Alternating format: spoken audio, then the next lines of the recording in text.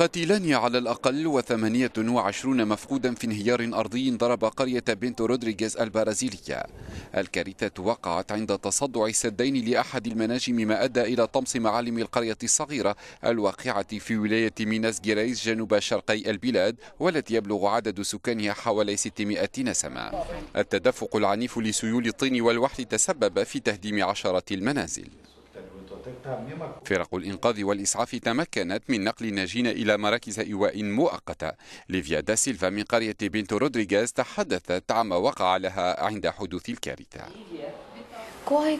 سمعت أحدهم يقول أركضي أركضي بسرعة لقد انهار السد.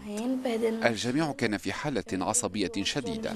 ركضنا بسرعة وتركنا حقائب الظهر خلفنا ثم ركبنا الحافلة التي نقلتنا إلى الكنيسة الموجودة على أعلى التلة. وتدير المنجم المنكوب مؤسسة ساماركو المملوكة من قبل شركتين من عمالقة التعدين وهما فاليدو برازيل وبيليتون أستراليا.